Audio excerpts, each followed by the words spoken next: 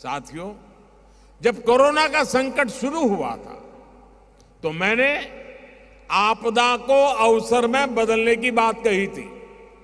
आज देश ने इस आपदा को अवसर में बदलकर दिखा दिया है। कुछ दिनों पहले जीडीपी के जो आंकड़े आए हैं, वो दिखा रहे हैं कि भारत ने कोरोना काल में जो नीतियाँ बनाई जो निर्णय लिए, वो कितने महत्वपूर्ण थे। पिछले साल इतने ग्लोबल डिस्ट्रप्शन के बावजूद भारत ने 670 बिलियन डॉलर, यानी 50 लाख करोड़ रुपए का टोटल एक्सपोर्ट किया।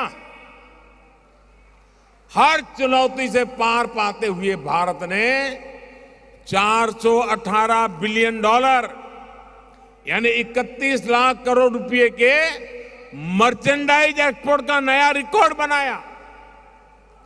आज देश के ग्रोथ इंजन से जुड़ा हर सेक्टर पूरी क्षमता से चल पड़ा है।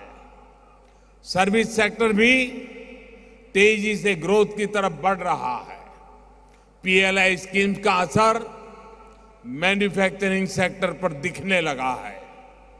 मोबाइल फ़ोन सहित पूरे इलेक्ट्रॉनिक मैन्युफैक्चरिंग सेक्टर में कई गुना वृद्धि हुई है। टॉयज का इंपोर्ट तीन साल में जितना घटा है करीब करीब उतना ही एक्सपोर्ट बढ़ा है।